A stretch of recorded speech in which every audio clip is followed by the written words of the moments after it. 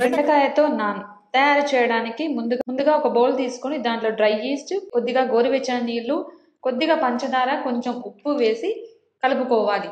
తర్వాత దీంట్లో మైదా పిండి వేసి చక్కగా మరొకసారి కలుపుకోవాలి. దీంట్లో కొంచెం వెన్న కూడా వేసి బాగా మద్దన చేసి ఒక ఇరవై నిమిషాల పాటు పక్కన పెట్టుకోవాలి. ఇప్పుడు బెండకాయలను సన్నగా ముక్కలుగా కట్ చేసుకుని ఒక ప్లేట్లో వేసి ఉప్పు వేసి అలాగే కొంచెం సాంబార్ పొడి కూడా చల్లుకుని కలుపుకోవాలి. తర్వాత ముందుగా మనం కలిపి పెట్టుకున్న తర్వాత ముందుగా మనం కలిపి పెట్టుకున్న నాన్ పిండిని తీసుకుని రొట్టెలాగా చేసి దానిపై ఈ బెండకాయ ముక్కలను వేసి దాని దానిపై కొంచెం వెన్న కూడా వేసుకొని ఓవెన్లో ఒక పది నిమిషాలు పెట్టుకొని కాల్చుకోవాలి. తర్వాత దీనిని ముక్కలుగా కట్ చేసుకొని టమాటా కెచప్తో సర్వ్ చేసుకొని తింటే చాలా చాలా టేస్టీగా ఉంటుంది.